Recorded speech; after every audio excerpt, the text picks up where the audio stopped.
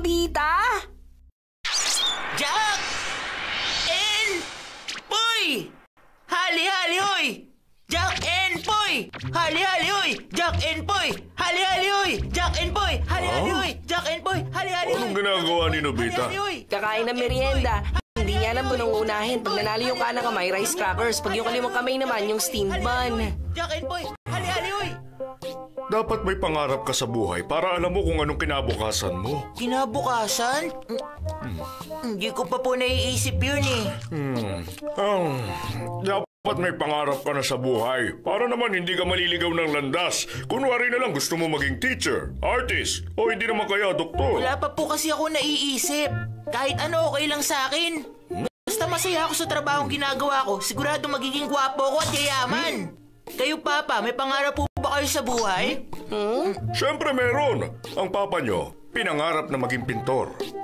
Talaga po? Pintor? Bakit, Papa? Ganun ba kayo kagaling magpinta? Aba, siyempre naman.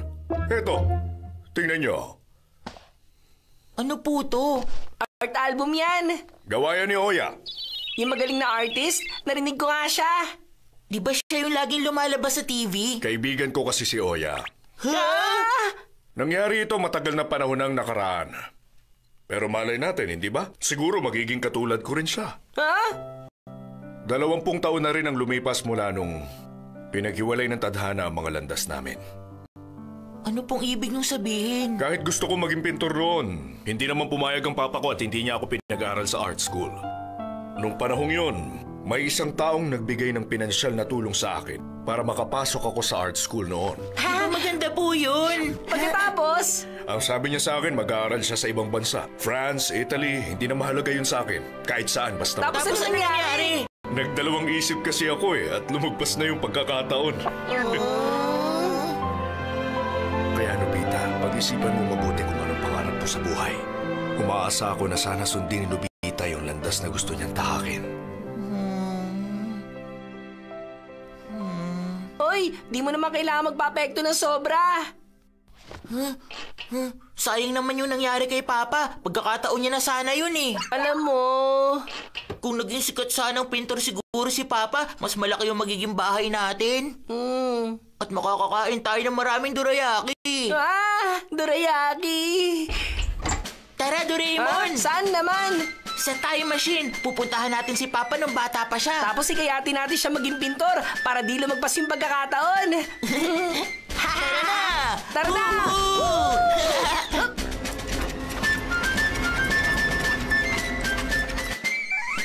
Nandito na tayo. Ah, ito yung bahay bago nila pinaayos. Napansin ko na nalilito talaga si Nobisuke. Hindi na bata si Nobisuke. Hayaan mo siya magpasya sa sarili niyang buhay.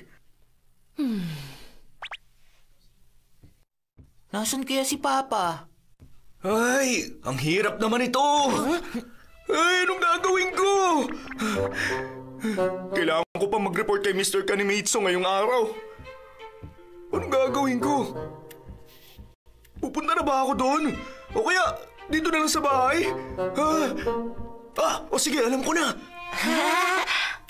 Pag nanalo yung kanan, pupunta ako. Pag yung kaliwa naman, hindi na. Jack and Boy! Hali-hali, hoy! Jack and Boy! Hali-hali, hoy! Jack May and Boy! ka pala. Hali, Oh, hali, Doraemon, hoy! grabe ka naman sa amin. Ay, mukhang wala na akong magagawa. Decision Splinter! Kapag natusok ka ng Decision Splinter, makakapagpasya ka kahit gaano kahirap ang pinagpipilian mo at wala makakapigil sa napagpasyahan mo. Yan mismo, yan ang kailangan ni Papa. Nakakapagod pala. Ah, mm, mm, mm, mm,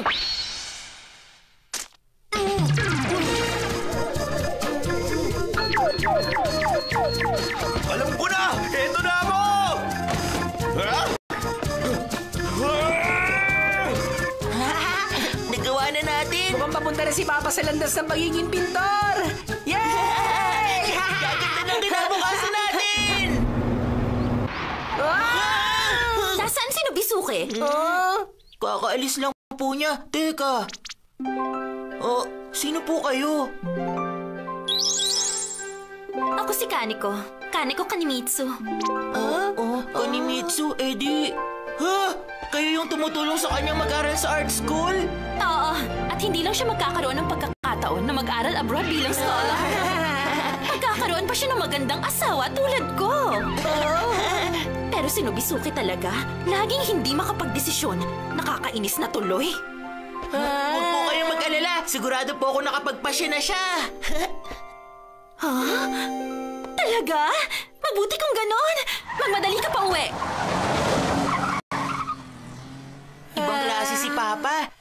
Magiging pintor na nga siya. Magpapakasal pa siya sa magandang babaeng yon. Malaki problema to! Bakit naman? Ah, kung siya pakakasalin ni Papa, ibig sabihin hindi na sila magpapakasal ni Mama! Ah! Ibig sabihin, pag nagpakasal si Mama at Papa, ipapanganak ka. Pero pag ibang babae ang pinakasalan niya, walang nobita na mabubuhay sa mundo! Ano? Hindi natin hayaang mangyari Kailangan yun! mapigilan natin siya! Ah, ayun siya! Pati yung kamalasan may pinagmanahan ka. Pero hindi pa rin siya sumusuko. Mukhang tayo na lang ang makakapigil sa kanya, Nobita. Tara na! Ah,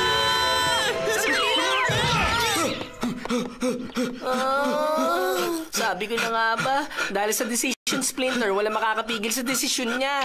Eh, di ano nang mangyayari sa akin yan, Doraemon? Pag si Papa at si Kaniko ang magkakatuluyan, mawawala ka na lang bigla sa mundo! Gumawa ka ng paraan! Pagod na ako. Bakit bigla ka na lang tumigil? Pag di tayo nagmadali, huli na ang lahat! Hayaan mo na. Doraemon, natin to. Bakit naman? Mas gusto ko pang sundin na lang ni Papa ang pangarap niya. Yun ang gusto niya simula nung bata pa. Naririnig mo ba sinasabi mo, Nobita? Pag nawala ka, hindi mo na ulit makikita lahat ng tao sa buhay mo. Ako, si Shizuka, sina Papa at Mama,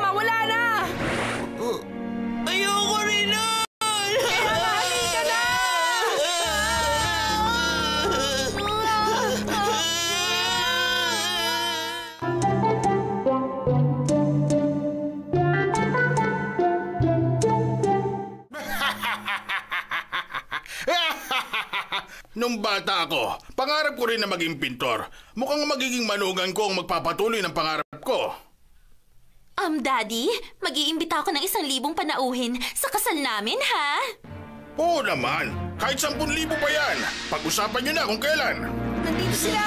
Bilisan mo, Nobita! Gamit ang pera at impluensya ko, kaya kitang gawing tanyag na pintor sa buong mundo.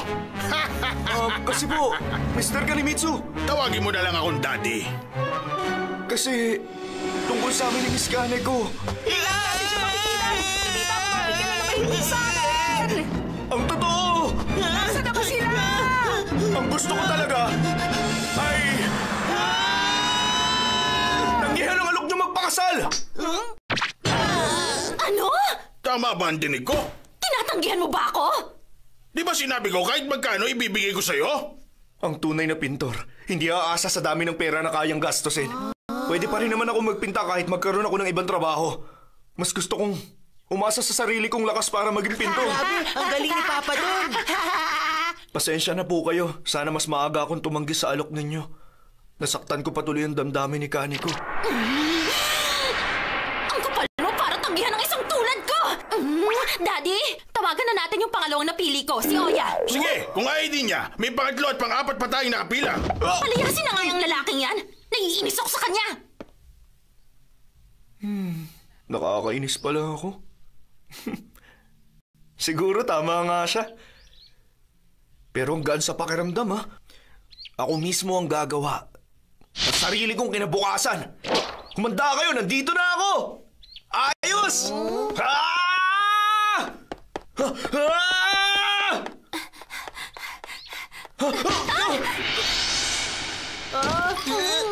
Ang sakit nun.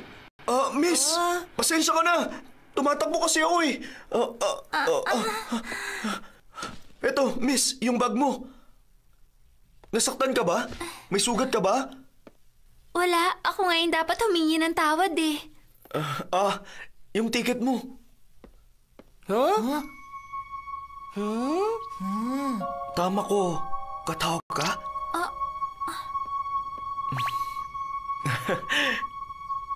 Tama ako raw!